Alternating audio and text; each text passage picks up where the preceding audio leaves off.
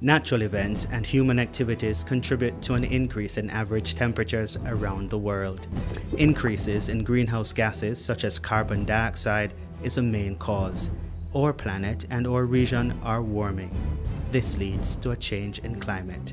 Do you know how climate change affects the Caribbean? The Caribbean is a minute contributor to global greenhouse gas emissions, but will be among the most severely impacted. We're already experiencing its impacts. More frequent extreme weather events, such as the 2013 rain event in the Eastern Caribbean, the extreme droughts being experienced across the region, with severe consequences in places like Jamaica, the 2005 flooding in Guyana, and Belize in 2010, and further climate change is inevitable in the coming decades. Inaction is very costly, and economic analyses focus on just three areas increased hurricane damages, loss of tourism revenue, and infrastructure damages could cost the region US $10.7 billion by 2025. That's more than the combined GDP of OECS member states. These risks can be managed by taking no regrets actions, development actions we must take in any event. So we must build our infrastructure to withstand more intense weather events, select crops that can thrive in extreme conditions and climate influence opportunistic pests, and transform our planning frameworks to improve our resilience. Climate change is a fossil energy related problem. Fossil fuel consumption costs the region US $37 million of its foreign exchange earnings yearly and further reduces the potential for economic growth. Employing renewable forms of energy will allow us to tackle two big problems climate change and economic competitiveness. Climate change projects have been underway in the Caribbean for nearly two decades.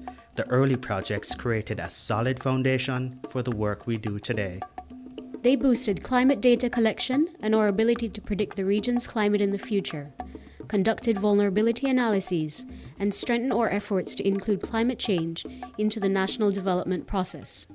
Less than a decade after its first climate change project, the region established the Caribbean Community Climate Change Center, widely known as the Five Cs, which executed the world's first pilot adaptation program in three countries across five areas the climate proofing of the Marchand Community Center in St. Lucia, the construction of a rainwater harvesting and wastewater recycling facility at Coconut Bay Beach Resort and Spa in Vieux-Fort, St. Lucia, the photovoltaic solar powered saltwater reverse osmosis plant in Bequia, St. Vincent and the Grenadines. Our work is grounded in a firm regional commitment, policy, and strategy. Our three foundation documents the Liliendaal Declaration, the Regional Framework for Achieving Development Resilient to Climate Change, and its accompanying implementation plan are the basis for climate action in the Caribbean. Guided by these actions, we've successfully executed a suite of regional climate change related programs worth approximately 50 million US dollars. These investments have been critical in advancing our resilience building efforts and transforming attitudes. Our work is sustained through meaningful relationships with complementary regional and international organizations and development partners.